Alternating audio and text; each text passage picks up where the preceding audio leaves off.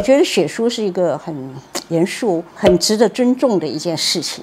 现在变成这些烂渣人、这些官僚，他可以大拉拉的说谎，可以这么大胆的颠倒是非，还敢出书，可以自己去翻案，给自己去掩饰他的一些过错。如果社会还没有一个判断能力，我们只有继续跟着他沉沦的。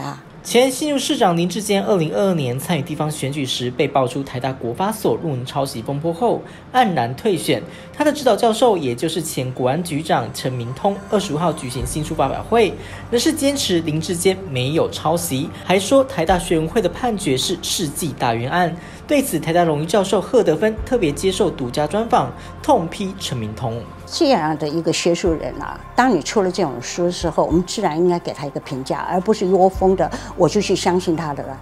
因为这样子的话，对他自己的学术是更大的践踏，他人格上更低贱的。你不但自己不反省。你一年可以指导两三百个学生，你的论文的题目有没有价值？你有没有认真的在指导？当你出了这么大的事情，学校已经透过正当的程序给你做了评鉴的时候，我刚刚说的，他如果正确的话，他如果对他反省的话，我觉得这个书有价值。如果他只是要去给自己漂白，啊，或者是说他认为他是一个冤案，我觉得。那他的反省力也实在是太差了。那这个这个东西，也就是反映到我们的现实社会啊，多么的不寻求真实啊！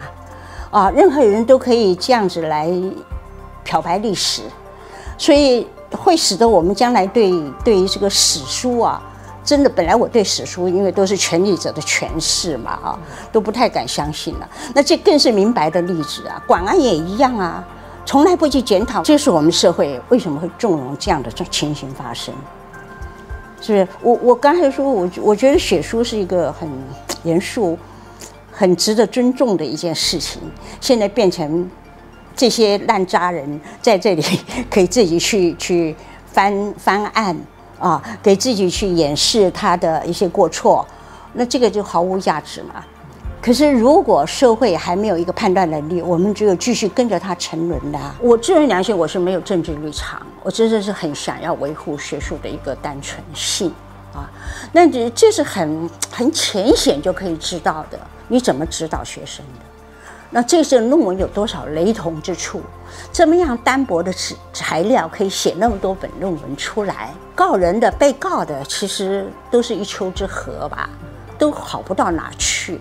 就我觉得悲哀的是，学术沦落到今天这个，尤其人文社会学科，很容易很容易陷入这样的困境嘛。你看，它就是一个一个问卷资料，或者一个简单的一个呃一个数据的一个一个调查资料，就可以给好多学生去用。而且你又是身兼官职，这么重要的国安局长，你还有这么多心思可以在学校里吗？像这种学官两期讲了多少年，结果有办法的还是照样去做啊？你学校有没有好好的整顿过？反而这种人在学校吃香喝辣，声名都是就是远高于那种默默的、静静的守在校园一角的教授啊。那你整个社会风气就是这样造成的，所以他今天可以这么大胆的颠倒是非，还敢出书。我觉得社会都该检讨吧，这个都是我们现在就是说纵容到这些政治人物、这些官僚，他可以大拉拉的说谎，这个就是已经是非常违背整个学术的一个精神了嘛。其实啊，呃，陈明通这些说法，当时在林志坚的这个论文抄袭的争议的时候，他也说过同样的话。而且呢，那个时候在台大要不要呃把他的这个呃论文撤销掉？其实呃也陈明通也是用这些的这个借口，但是呢事实上都没有被台大所采信。那我觉得呃分几个层面啦。第一个，他出这本书，其实试图呢用编织一些所谓政治迫害的故事，呃试图要把林志坚啊呃把他塑造成。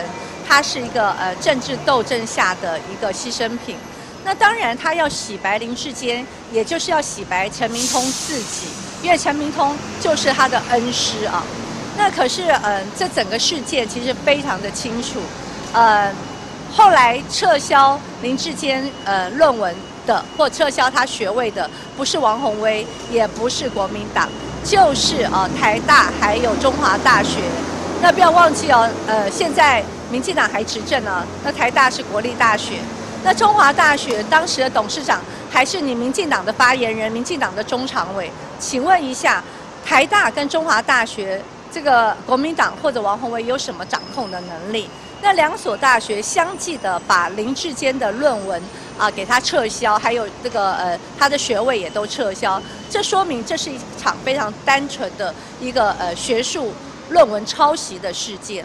那么嗯，我觉得陈明通选在这个时候，嗯，他呃出书，我认为他也有别有用心。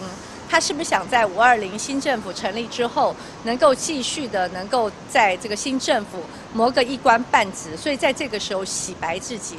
但是我觉得他。的这些呃企图啊，事实上没有办法达成目的，因为这件事情并不是时隔十年、二十年哦，这短短的大概不到两年的时间，他难道认为他在现在满嘴胡说八道就能够去洗所有社会大众的记忆，就能够洗白林志坚跟洗白陈明通自己了吗？